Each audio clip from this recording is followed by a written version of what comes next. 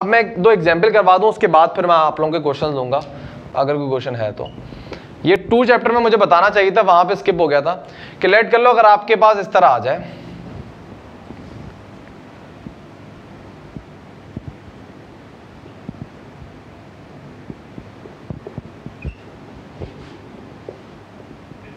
या इतने ही आ जाए आपके पास। अगर मैं आपसे पूछूँ ये दो लाइंस दो पॉइंट हैं इन दो पॉइंट से जो लाइन पास कर रही है, उसकी इक्वेशन निकालो। तो आपके पास क्या मेथड हो सकते हैं? इनके अलावा, आप टू पॉइंट फॉर्मूला यूज़ नहीं कर सकते, आप स्लो पॉइंट फॉर्मूला यूज़ नहीं कर सकते। तो फिर आप क्या करोगे यहाँ पे? मतलब यूज़ कर सकते हो, ये बहुत बड़े मेथड है। इसका बहुत ही पाँच सेकंड का आंसर है। पाँच सेकंड में मैंने बहुत ज़्यादा बोल दिया, एक सेकंड का आंसर है। तो कैसे आप इक्वेशन निकालोगे अगर ये दो पॉइंट गिवन है और आपको इक्वेशन निकालनी हो तो? कोई तरीका है किसी के पास?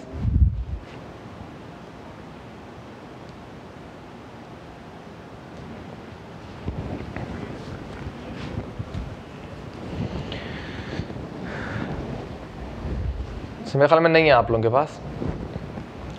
अच्छा ये दो पॉइंट भी आ सकते हैं और आपको ज़्यादा तंग करने के लिए वो पाँच पॉइंट दे दें, चार पॉइंट दे दें।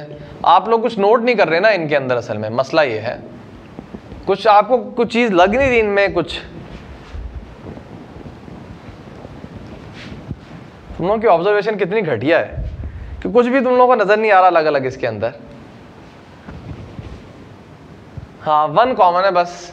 तो याद रखो, अगर कोई एक कोऑर्डिनेट सेम हो जाए हर पॉइंट के अंदर। जैसे इसमें एक्स कोऑर्डिनेट सेम है तो इसका मतलब वो line parallel to y axis है। समझने की ज़रूरत नहीं है, मैं बता रहा हूँ, इस पर हम टाइम ज़ाया नहीं करेंगे। लेकिन अगर एक्स कोऑर्डिनेट सेम है, इसका मतलब वो line parallel to Y axis है। खुद सोचना कैसे? और अगर उसका वाई कोऑर्डिनेट सेम है सब पॉइंट के अंदर, इसका मतलब वो पैरेलल टू एक्स एक्सिस है। इक्वेशन कैसे निकालोगे? भाई, कौन सा कोऑर्डिनेट सेम है? एक्स कोऑर्डिनेट सेम है तो आप एक्स लिखो। और है क्या? वन के बराबर है तो बस। ये इक्वेशन हो जाएगी। अब यहाँ पे अगर आप स्लोप पॉइंट फॉर्मुला यूज़ करो या टू पॉइंट फॉर्मुला यूज़ करो एट दी एंड ये रिज़ल्ट आएगा। करके देख लेना। लेकिन वो लंबा हो जाएगा, क्या ज़रूरत है करने की? और लेट कर लो किस टाइप का सवाल आ जाए।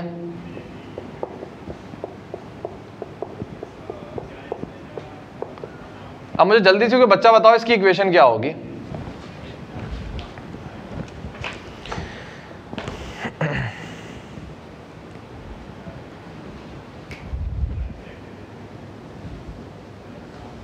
X equal to minus one good ये कौन है? महान इंसान? सैयद हसन अदनान। कोई और ट्राई करना चाहता है?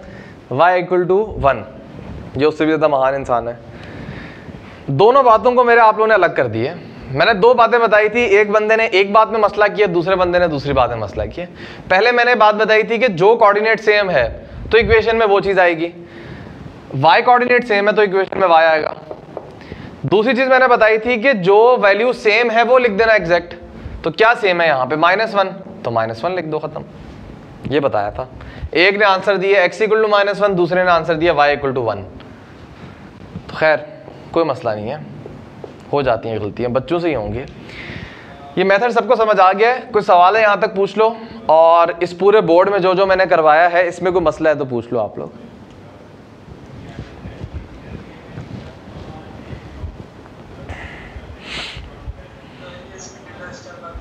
कौन सा वाला स्टेप ये वाला कह रहे हो। यही कह रहे हो ना?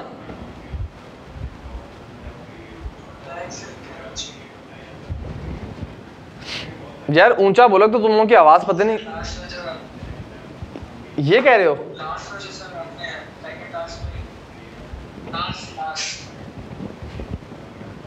बस एक इक्वेशन बता दो, क्या कह रहे हो? मतलब तुम ये तो नहीं कह रहे वाई टू माइनस वन कैसे आया?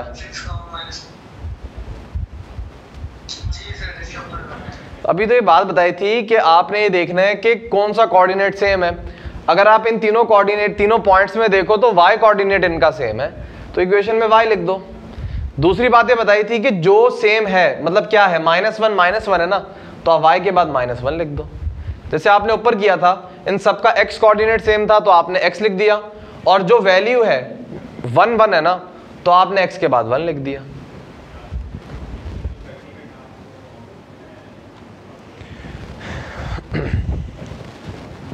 ठीक है स्क्रीनशॉट ले लो इसका।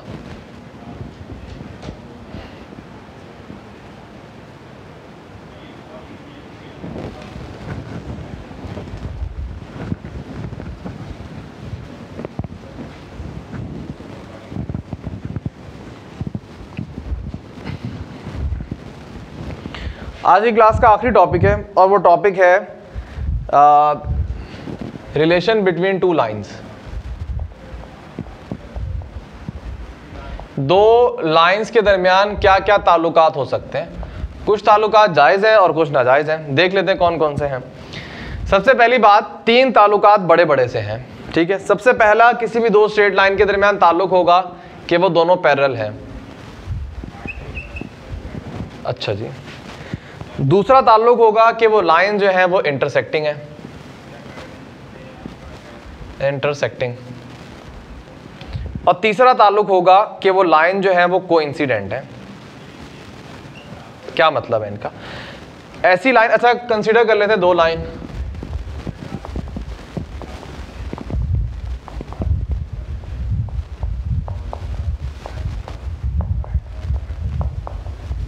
ये दो स्ट्रेट लाइन को लेट कर लो। सबसे पहली बात कि अगर दो स्ट्रेट लाइन पैरल है तो उनके बारे में तो आपने पढ़ा था ना कि उनका स्लोप क्या होगा? इक्वल होगा। ज़रा आप स्लोप निकालो। इस वाली लाइन का स्लोप आ रहा है minus A one upon B one और इस वाली लाइन का स्लोप आ रहा है minus A two upon B two तो अगर दो straight line sir concurrent lines कौन सी होती हैं? वो बात का टॉपिक है। चैप्टर थ्री में पढ़ोगे। अगर दो स्ट्रेट लाइन आपस में पैरल है तो उनके स्लोप आपस में क्या होंगे? इक्वल होंगे। तो आप क्या करो, इनको इक्वल रखो। Minus A one upon B one minus A two upon B two cancel हो गया। तो आप ये वाली कंडीशन भी लिख सकते हो कि A one upon B one बराबर है A two upon B two के। इस तरह भी कंडीशन पूछी जा सकती है। ये कंडीशन होती है पैरल की। अगर इसको थोड़ा सा अरेंज करें मतलब ए टू को नीचे ले जाओ बी वन को उधर ले जाओ। तो अब ये हो जाएगी A one upon A two B one upon B two ये वाली कंडीशन भी पैरल की होती है। इस तरह अगर एम आ जाए तो तब भी ये पैरल की कंडीशन है। या इसको इस तरह भी कर सकते हैं कि वो बी टू को मल्टीप्लाई कर दें ए वन से, ये हो जाएगा ए वन बी टू और बी वन को मल्टीप्लाई कर दें ए टू से तो ये हो जाएगा ए टू बी वन ठीक है? और फिर इस पूरी टर्म को उठा के इधर ले आओ तो ये नेगेटिव हो जाएगी। और इधर इक्वल टू ज़ीरो आ जाएगा। तो ये वाली जो कंडीशन है, ये भी पैरल की कंडीशन है। ये वाली कंडीशन भी पैरल की कंडीशन है। ये वाली कंडीशन भी पैरल की कंडीशन है। आई कहाँ से? ये बेसिक बात से आई है कि दोनों का स्लोप इक्वल होता है। बस इनको मैंने बताया कि डिफरेंट अंदाज में आपने अरेंज किया है। तो ये दो आ गई हैं। फिर क्रॉस मल्टीप्लाई करना सॉल्व करना, आपके पास ये वाली फॉर्म आ जाएगी। ज़्यादातर मशहूर ये भी पूछ लेते हैं वो या ये पूछ लेते हैं, ये दो मशहूर चीज़ें हैं, ठीक है? तो पहली बात तो ये होगी अब बात करते हैं इंटरसेक्टिंग लाइन की। और इंटरसेक्टिंग लाइन के अंदर एक और टाइप होती है जिसको आप बोलते हो परपेंडिकुलर लेकिन पहले हम इंटरसेक्टिंग वो आप ऑप्शन से देखोगे। अगर ऑप्शन में आपके पास इस टाइप के ऑप्शन दिखे हुए कोई ऑप्शन लिखा होगा A one B one plus A two B two equal to four कोई इस टाइप का ऑप्शन लिखा होगा। अच्छा किसी में इक्वल टू ज़ीरो होगा, उनमें से एक ऑप्शन ये वाला होगा तो आप पहचान लेना, ठीक है? मतलब ये दो ऑप्शन एक साथ नहीं आ सकते ना। आप बस ऑप्शन में देख रहे हैं, तीनों में से जो मौजूद होगा, वो राइट हो जाएगा। खत्म।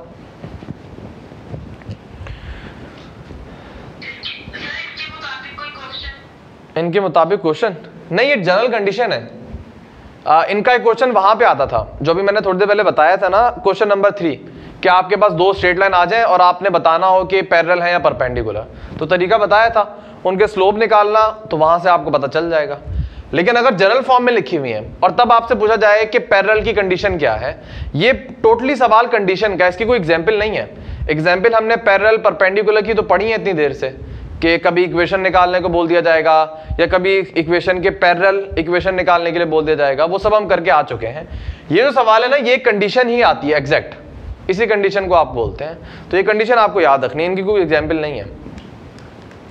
एक रिलेशन है, तभी मैंने ऊपर लिखा था रिलेशन क्या है इनके दरमियान? काइंड ऑफ़ डेरिवेशन कह लो या कंडीशन कह लो। इंटरसेक्टिंग पे आ जाओ यार, देखो, अगर कोई लाइन पैरल है तो पैरल की कंडीशन ये वाली होती है। ये पैरल की कंडीशन होती है। तो अगर कोई लाइन पैरल नहीं है तो एक ही ऑप्शन है। दूसरा भी है, लेकिन उसकी कंडीशन अलग है कि अगर कोई लाइन पैरल नहीं है तो इसका मतलब वो इंटरसेक्टिंग है। देखो, एक लाइन इस तरीके से है। या तो वो पैरल होगी, और अगर वो पैरल नहीं है तो फिर क्या होगा? वो इंटरसेक्टिंग होगी। किसी ना किसी पॉइंट पे वो इंटरसेक्ट कर रहे होंगे। तो अगर ये वाली कंडीशन ज़ीरो के बराबर आ जाए तो वो लाइन पैरल को शो कर रही है। और अगर ये वाली condition not equal to zero आ जाए तो अब वो इंटरसेक्टिंग लाइन को शो कर रही है। क्योंकि पैरल में हमेशा ये पूरी चीज़ ज़ीरो के बराबर होती है। और अगर ये पूरी चीज़ ज़ीरो के बराबर नहीं आ रही, इसका मतलब कि वो लाइन जो है वो इंटरसेक्टिंग है। ठीक है? अब इंटरसेक्टिंग के अंदर एक बी कैटेगरी होती है, जिसको आप कहते हो परपेंडिकुलर कि वो इस तरीके से इंटरसेक्ट कर रही है कि उनके दरमियान 90 डिग्री बन रहा है। तो उसके बारे में देख लेते हैं। कौन सा बी वाला है?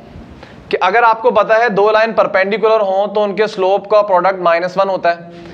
तो ये है minus A one upon B one और इसका स्लोप है minus A two upon B two in equation को अरेंज करके सॉल्व करना आपका काम है। मैं फाइनल फॉर्म बता देता हूँ कि A one A two plus B one B two equal to zero multiply करना सिंप्लीफाई करना क्रॉस मल्टीप्लाई करके जो भी करना चाहो, देखना आपके पास ये वाली फॉर्म आ रही होगी।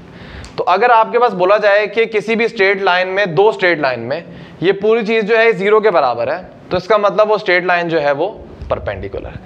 तो ये पैरल की कंडीशन होगी ये परपेंडिकुलर की कंडीशन हो गई, ये इंटरसेक्टिंग की हो गई। अब आखिरी है कोइंसिडेंट। कोइंसिडेंट लाइन कौन सी होती है?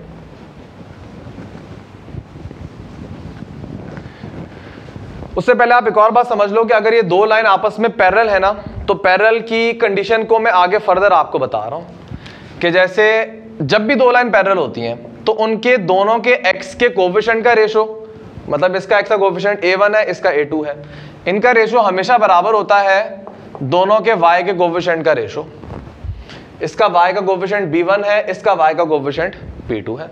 तो हमेशा जब भी कोई लाइन पैरल है a1 बराबर a1 upon a2 B one upon B two ये दोनों आपस में क्या होंगे? बराबर होंगे। और ये दोनों नॉट इक्वल होंगे कांस्टेंट के रेशो से। कांस्टेंट का रेशो इन, इन जैसा नहीं होगा। मैं एक एग्जांपल दे देता हूँ। कंसीडर कर लो एक लाइन है 2x X plus three Y plus four equal to zero एक और लाइन है 2x X plus three Y minus ten equal to zero मैंने बताया था पैदल में शुरू की दो टर्म सेम होती हैं। तो आपको देखने में लग रहा है शुरू की दो टर्म सेम है।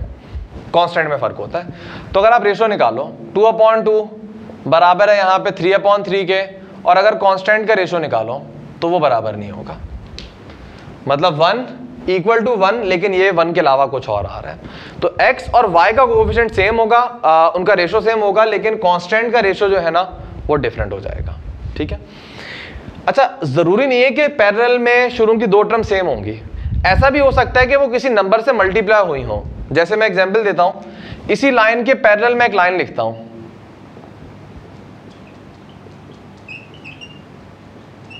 ये भी इसके पैरल है।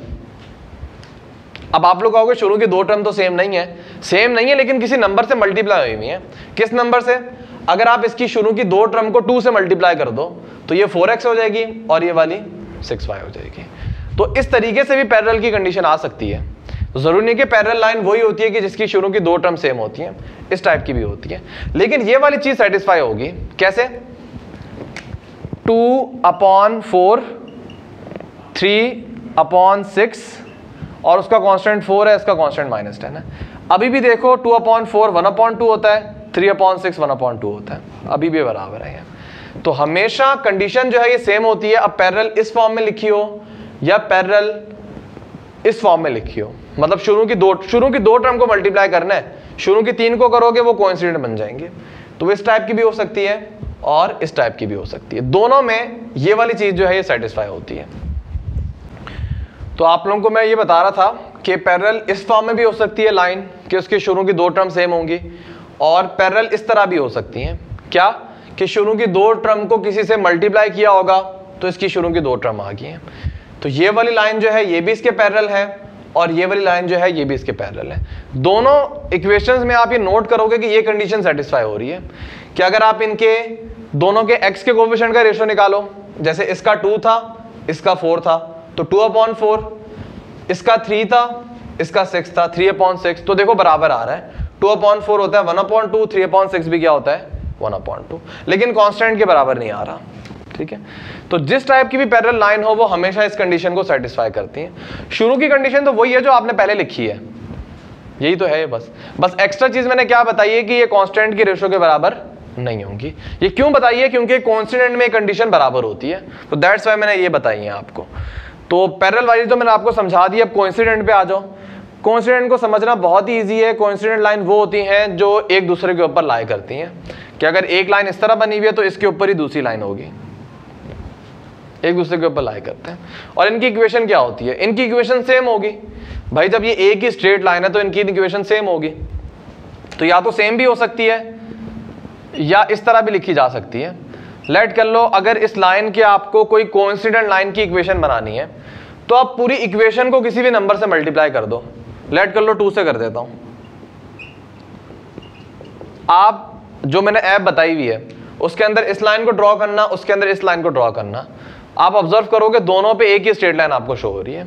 क्योंकि आपने क्या किया? आपने बस पूरी इक्वेशन को किसी नंबर से मल्टीप्लाई कर दिया। तो आपके पास दूसरी इक्वेशन आ गई है। तो कोइंसिडेंट लाइन वो होती हैं जो एक दूसरे के ऊपर लाई करती हैं।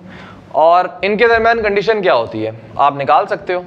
दोनों के एक्स का कोफिशिएंट का रेशो वाई के कोफिशिएंट का रेशो कांस्टेंट के कोफिशिएंट का रेशो तीनों चीज़ें आपस में बराबर हो रही हैं। One upon two one upon two one upon two तो कोइंसिडेंट में होता ये कि तीनों चीज़ें बराबर होती हैं, जबकि पैरल में कॉन्स्टेंट का रेशो बराबर नहीं होता। तो रिलेशन वाला टॉपिक जो है ये हमारा कंप्लीट हो गया है। कोई सवाल है, यहाँ तक पूछ लो, आज की क्लास एंड है हमारी।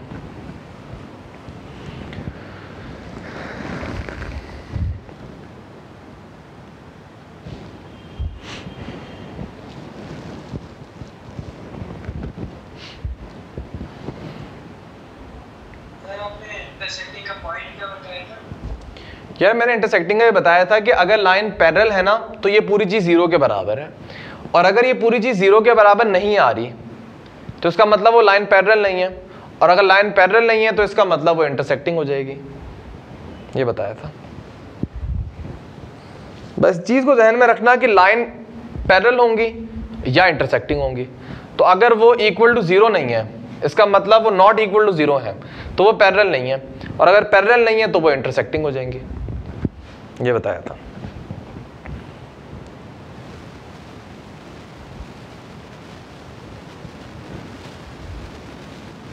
ये आप लोगों की बुक का क्वेश्चन भी है लेकिन आ, करवाया नहीं होगा किसी ने क्योंकि इतना इंपॉर्टेंट नहीं है ये। सर इंटरसेक्टिंग लाइन परपेंडिकुलर होगी ज़रूरी नहीं है। इंटरसेक्टिंग का एक केस है परपेंडिकुलर ये दो लाइन इंटरसेक्टिंग है ये दो लाइन इंटरसेक्टिंग है ये दो लाइन इंटरसेक्टिंग है। ये दो लाइन भी इंटरसेक्टिंग है, लेकिन ये परपेंडिकुलर भी हैं। ऐसी दो इंटरसेक्टिंग लाइन जो परपेंडिकुलर मतलब 90 डिग्री पे मिल रही हैं मतलब एक दूसरे को 90 डिग्री के एंगल पे कट कर रही हैं तो उन इंटरसेक्टिंग लाइन को आप परपेंडिकुलर बोलोगे।